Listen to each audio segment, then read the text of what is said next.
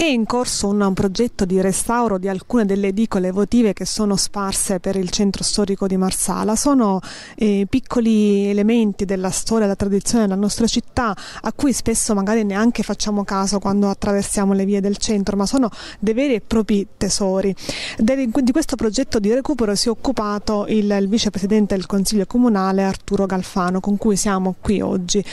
Mm, da dove è nata questa voglia di recuperare eh, queste edicole votive? Beh, sinceramente sono stati alcuni cittadini che mi hanno segnalato un po' le edicole votive perché in città, forse non lo sappiamo, ci sono de, delle, delle, persone che sono, diciamo, eh, a cui piace andare alla ricerca di queste edicole votive, anche, oltre che quelle di, di, centro città, anche nelle periferie e mi dispiace che proprio qualche, qualche giorno fa la notizia che un'edicola votiva è stata distrutta nella zona di, di Conciata Berbaro. Beh, eh, dopo la segnalazione di questi cittadini io mi sono impegnato affinché ho fatto un emendamento al piano triennale del 2017 in cui impegnavo una piccola somma di 15.000 euro per il recupero di alcune di queste edicole votive. Eh, abbiamo presentato il progetto, anzi abbiamo fatto fare dietro mia richiesta il progetto della soprintendenza perché purtroppo non avevamo i tecnici al comune eh, qualificati a fare questo tipo di progetto, ha, si, è, si, è, fatto un, un protocollo d'intesa con la soprintendenza e abbiamo fatto fatto, la, la sovrintendente ha fatto il progetto e mh, riguardava soltanto queste tre edicole votive che è questa dietro alle mie spalle che siamo in via 19 luglio angolo via Calogero o meglio via Calogero angolo via 19 luglio e poi l'altra che si trova a piazza Sant'Antonino e un'altra ancora che si trova in via Belle Damiani. Eh, I lavori stanno proseguendo anche se in questa diciamo, si stanno avendo delle belle soddisfazioni. Esatto, questa è un'edicola particolare perché eh, eh, rappresenta la, la, Madonna della Cavano, patrona della città. I lavori di restauro hanno permesso di riscoprire la bellezza autentica del, di questa edicola, ce la può descrivere? Assolutamente sì, quando, eh, devo dire che quando si è iniziato a lavorare a questa edicola non sapevamo che cosa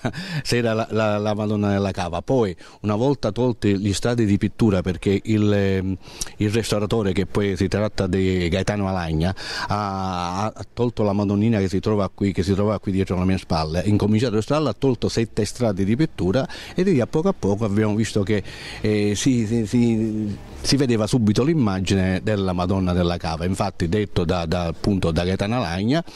che è una, una, statuetta del Settecento che dopo quella originale appunto rappresenta la nostra patrona di, di città. E in, penso poco fa mi, mi ha chiamato proprio l'amico Gaetano Lagna che mi diceva che tra giovedì e venerdì possiamo averla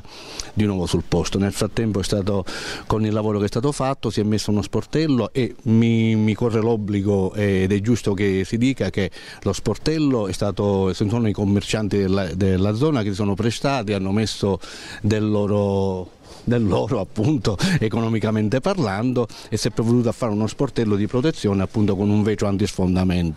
e con lo stesso materiale attorno che di, di, del legno uguale a quello che abbiamo ritrovato sotto gli strati di pittura. Quindi eh, questo ha a consolidare, a consolidare, il fatto che la, la, la città e i cittadini sono molto attaccati a queste antiche tradizioni. Alla luce proprio di questo attaccamento ci sarebbe la possibilità di recuperare anche altre edicole votive che sono sparse per il territorio?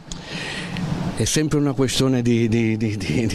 di soldi, per ora eh, occupiamoci di questo e vedremo in, in futuro che, che, cosa si può fare. E, ehm, io approfittando anche dell'amicizia che mi lega con Gaetano Lagna sono riuscito ad approfittare a, a fargli recuperare un'altra dicolovativa che, su cui stiamo lavorando per vedere, no, è, diciamo, è meno impegnativa di questa e quindi magari ne aggiungiamo un'altra alle tre, poi vedremo più in là.